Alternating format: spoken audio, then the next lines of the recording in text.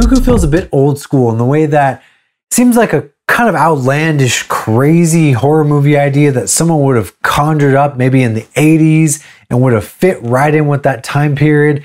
Something also very interesting about Cuckoo that I noticed is that the Rotten Tomatoes score for Cuckoo was out months and months and months before the movie was. And sometimes you'll get that if it's like a festival run or something like that. The theatrical release might not be till later, but the Rotten Tomatoes score will drop early. But typically, I feel like I've never seen it drop so early before a theatrical release.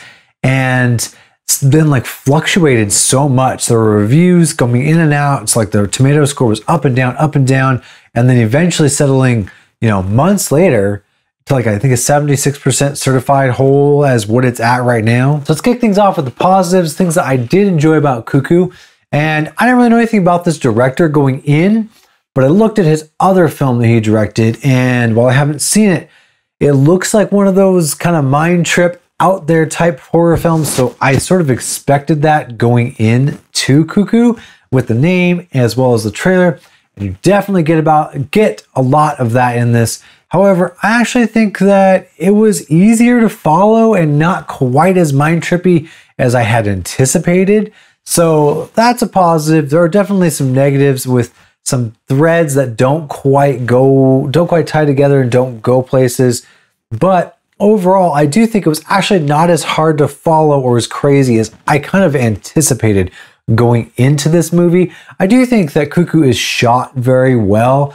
It is clearly shot with a very specific style, and I really enjoyed it. As mentioning the style, I really enjoyed the color palette in Cuckoo. It really stands out. It's a very specific, and again, this kind of ties into the, like I was talking about, the 80s. There's like some puke green in here, but like a really interesting type green that's cast all over with some like yellows and very interesting saturation of colors and styles here. Really, really cool choices that in the set design and like a pink house and these really like muted bright colors, which I think really do a good job at sort of putting you in this tone of this sort of throwback 80s kind of wild horror movie story. It definitely works uh, very well here. I really enjoyed Hunter Schafer's performance in this. I really, really dug like the haircut that she had in this film, and, like with the track jacket. Felt very like 90s rebellious teenager. I loved it. It was super cool. Headphones on, laying on the bed playing bass. Really, really cool aspects to her character. Great performance for the most part. There are some pieces and some elements there where I was a little bit taken out of it and I couldn't quite tell if it was a bad performance or bad editing or a creative choice from the director. But there are some moments there where, which I'll get into in my negatives in a second, probably if I don't forget. But it's there's just some pieces where I'm like, I don't know if I necessarily want to blame her for the most part, she's pretty good through this film. She carries a lot of weight. And like I said, I love the way she played this like rebellious teenager who doesn't know what she's doing with her life and trying to unsolve or solve this like mystery that's going on. She's got some great lines in there where she's like the voice of reason when this crazy stuff is happening and she kind of almost looks at the camera and it's like does that make any kind of sense? There's one in, line in particular that's great in this film. There are some cool camera tricks in here that they do when the characters are, without giving too much away, going into like kind of this mind trip aspect of the film.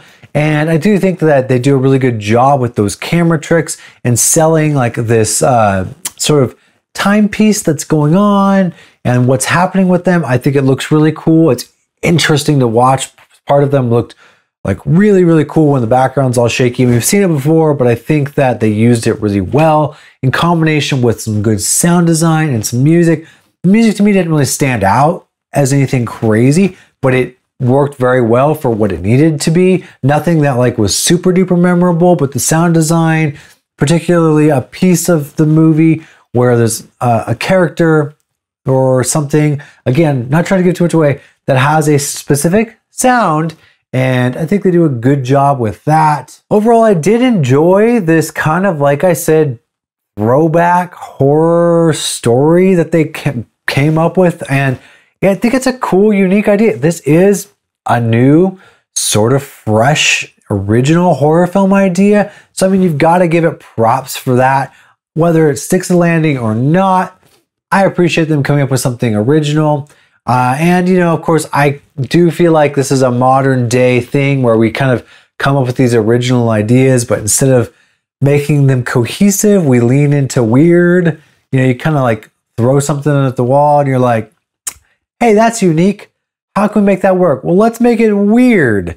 But again, that being said, I do think it is original, it's fresh, and I I personally enjoy like the throwback element of it. It almost doesn't need to make entirely like complete sense because it feels kind of like old school horror films that sometimes you they don't these 80s horror films didn't really make sense. And to elaborate on that, by make sense, I don't necessarily mean like the plot or the story doesn't make sense. Like you don't know what the heck is going on, and there's a bunch of stuff that just is keeps you completely lost. But I mean, like once you find out what's going on in the film, the villain and the creature, it doesn't necessarily like tie in with reality. And that's okay in this film. The last positive is that there are a few pretty decent scares in here. This is not a movie that's like creepy bumps in the nights or anything like that. It's not necessarily trying to scare you, but there are some moments here that work pretty well. Some jump scares that I feel are earned for the most part that worked pretty well also. That leads me into my negatives, and things I didn't really like about Cuckoo. And unfortunately, well, I feel like the ingredients here are all there to make a pretty decent horror film. Nothing just really grabbed me. I, I kind of was in the theater, and I, I mentioned this in my trap review a little bit. I felt this way a lot recently in theaters, just kind of sitting there being like, it's not bad, but I'm checking my watch. I'm kind of like thinking, okay, what's going to come next? Where is this going to go? Okay, this is going to happen or this is going to happen. And then it does, and you're kind of like, okay, cool. You know, it's not that it's overtly a bad film, and there's just so much of that here in 2024, but it just doesn't hook me. There's no scenes that really pull me in, no character moments that really suck me in or make me care about what's going on. There's not enough going on with the scares that can carry the film. There's not a cool enough creature that I can just turn my brain off and enjoy a bunch of kills or anything like that.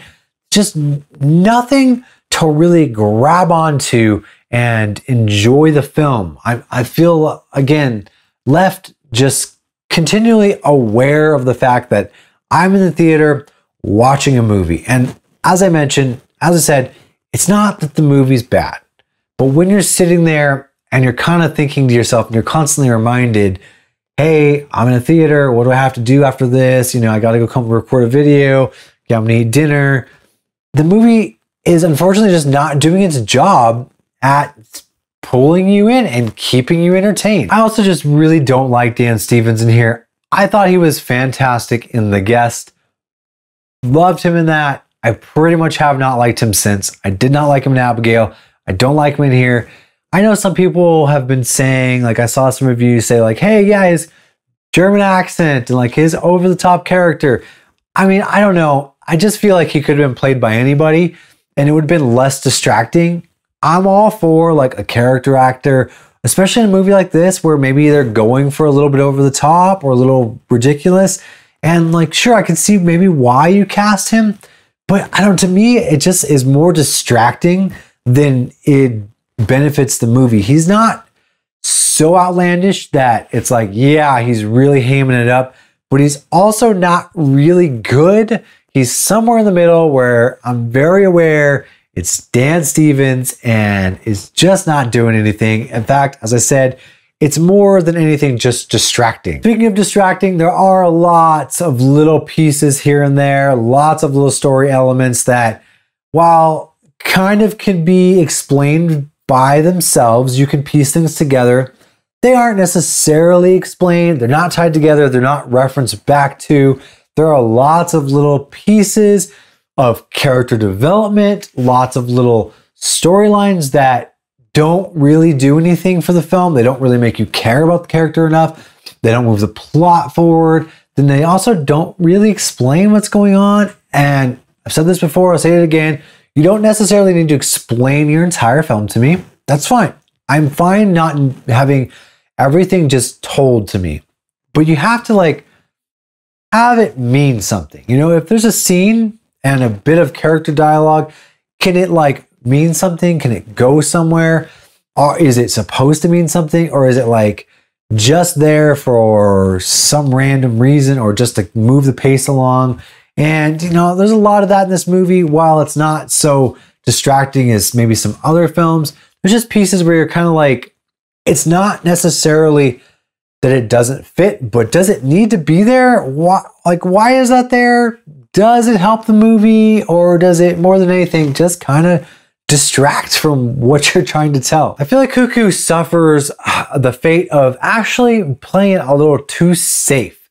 This is the type of movie that is trying to be a little wild and out there, but so it doesn't it doesn't really fit the audience who wants like your standard horror thriller, but it's not out there enough. I actually feel like Cuckoo could have gone a little more crazy or really leaned into certain aspects more and really, really like hammered home that idea of this like throwback, sort of old school 80s monster type ish horror film. And again, I might be giving you a bad depiction of what this film is by saying 80s monster horror. It's not like 80s cheese, like gore effects, monster movies. Again, more in like the story elements where you kind of got this like horror film and you don't exactly know what's going on. And then it's this reveal of this kind of like wild thing that you're like, whoa, you made some stuff up. And and that's what I mean when I keep referencing that. It feels that way. And I, again, I actually feel like they should have gone bigger. You know, they really should have had more of the aspects that I do think work in here that are a little bit wild and crazy. The mind bending aspects, they should have leaned into them more. Ultimately, I just kind of came out of Cuckoo thinking, yeah, that was a movie. It was all right, you know?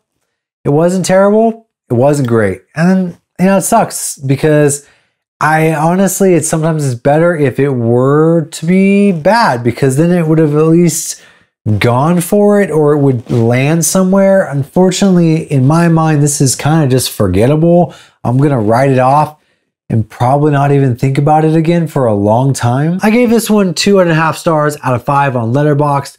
You can follow me at the link down below if you are interested in seeing some of my ratings and some of my lists and rankings. I have a 2024 films that I've seen list ranking in there. You can go check it out. There's horror and non-horror.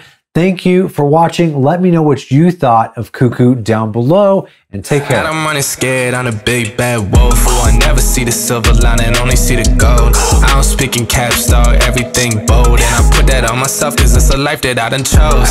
I said come through, you can see me on the west side. Now it's funny how they walking with it.